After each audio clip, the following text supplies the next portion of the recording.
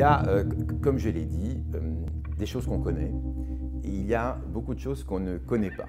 Et personne au monde ne peut vous dire que donnera l'effet de 1000 produits chimiques euh, consommés tous les jours à des taux, à des concentrations extrêmement basses, à des doses très basses.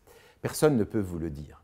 Donc, est-ce que ça a des effets? Est-ce que ça explique une partie des pathologies qu'on a vu augmenter quand même ces dernières décennies, hein, donc qui ont peut-être d'autres explications.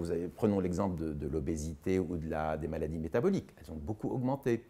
C'est évidemment notre euh, alimentation. On consomme peut-être beaucoup trop de, de, choses euh, grasses et sucrées. C'est le fait qu'on bouge moins.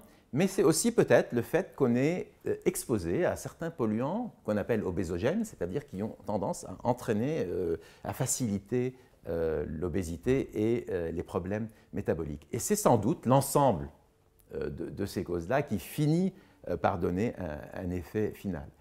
Quelle est la part de type d'alimentation, des, contaminations, du manque d'exercice, de notre comportement dans cet effet final?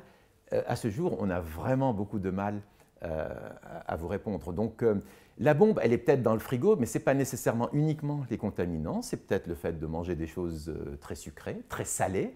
Vous savez, le, sel euh, joue un rôle, très grasses.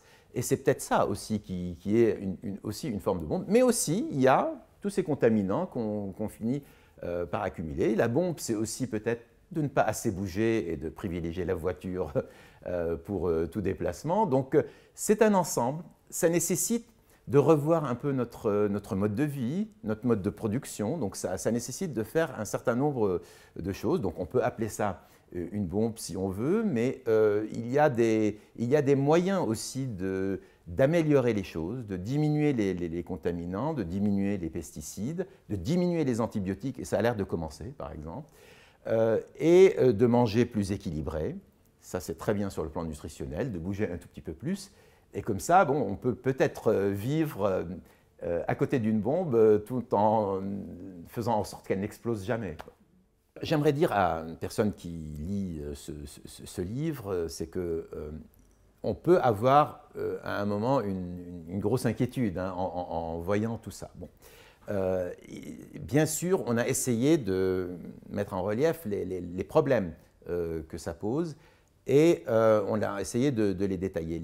L'idée n'est pas de, paniquer euh, les gens ou euh, de leur dire c'est catastrophique, il faut tout chambouler. L'idée, c'est d'avoir aussi la possibilité d'agir de, manière un tout petit peu plus pratique en leur disant bon voilà, il y a un problème de pesticides, peut-être que le bio peut être une, solution, peut-être qu'il faut aussi un peu, un peu militer pour que petit à petit on, modifie nos, modes de production.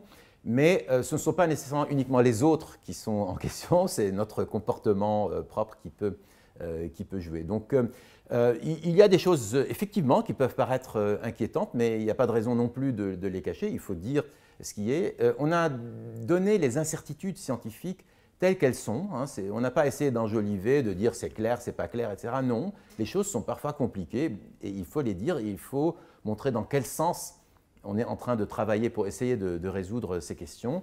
Et en attendant, peut-être prendre quelques mesures un peu simples, de bon sens, pour essayer de, limiter, équilibrer son alimentation, ne pas avoir une alimentation euh, uniquement basée sur un ou, deux produits, avoir vraiment une alimentation la plus équilibrée euh, possible, favoriser l'alimentation où il y a le moins euh, d'intrants possible. Bon, voilà, ce, sont ces, approches-là qui, peuvent, de manière pratique, disons, être déduites, je dirais, en lisant ce livre.